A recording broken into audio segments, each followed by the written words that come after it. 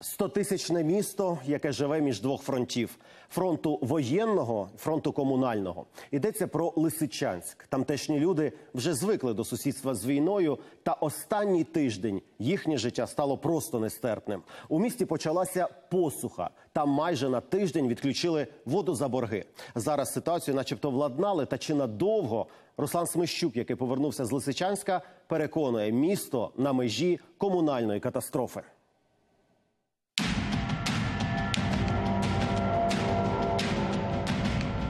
Прифронтовий Лисичанськ до лінії зіткнення напряму звідси менше ніж 20 кілометрів. У сиру й туманну погоду, от як зараз, можна навіть розриви почути, коли працюють артилерійські калібри. І по сусідству з війною тут у місті живуть 100 тисяч людей. А з минулого тижня городянам додали нових проблем. У Лисичанську перекрили водогін і каналізацію. Вот что они делают, а? У меня подо мною дитя, ну полгода, наверное, есть уже Чем его выкупать? Дитю хоть как, а нам чем? Никто ничего не знает. Бессовестное платить платим, за что платим?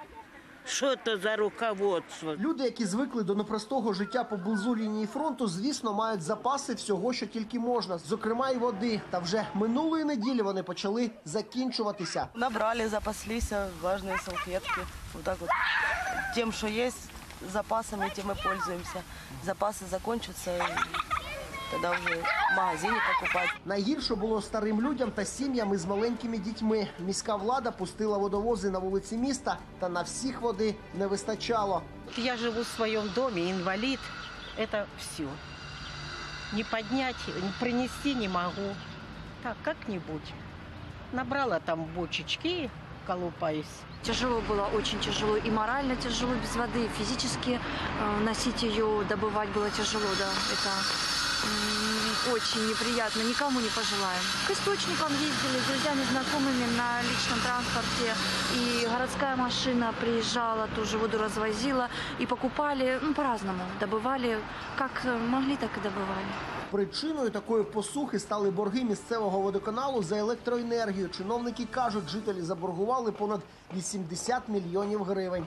Да ее каждый месяц закрывают, эту воду. Каждый месяц по И определенному говорят, что там числа. задолженность или еще. Еще хотят вообще поднять эту воду на 40 рублей. Тогда вообще никто платить не будет. Місцеві чиновники звернулися по допомогу до обласних і в середу ввечері Лисичанську нарешті дали воду. С области было выделено 1 миллион гривен. Все эти деньги были э, перенаправлены на погашение задолженности э, за электроэнергию. Про те, що іно вода пішла в систему та не витримала, одразу сталося кілька проривів. Тож воду знову перекрили, а водогін взялися лагодити. Проте і становище самого комунального підприємства не набагато краще, аніж і ржаві труби. Четыре месяца задолженности. Полная. Работать некому, люди текают. Он два человека осталось, пяти бригад. Все. Было 25. Канализации вообще нет. Кроме дежурных. И то и дежурных 4 осталось. Кадровий дефіцит, застарілі комунікації, постійні аварії, а ще безгрошів'я і борги. Схоже, війну із комунальними бідами Лисичанськ поки що програє. І хоча водогін вімкнули, зараз система наповнюється водою. Наступне відключення тут може статися вже за декілька тижнів. Схоже, взагалі, що Лисичанськ живе напередодні великої інфраструктурної кризи. І якщо це станеться, тоді єдиною надією містян стане Сіверський Донець та навколишні струмки. Не хватает средств коммунального предприятия оплачивать в полном объеме за электроэнергию.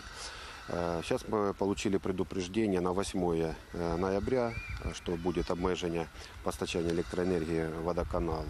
Ну, постараемся приложить все силы, чтобы этого не случилось. Найгірше, якщо водогін перекриють під час морозів, тоді прифронтове місто може стати зоною справжнього техногенного лиха. Із Луганської області Руслан Смичук, Богдан Савруцький та Ігор Щепет. Подробиці тижня. Телеканал Інтер.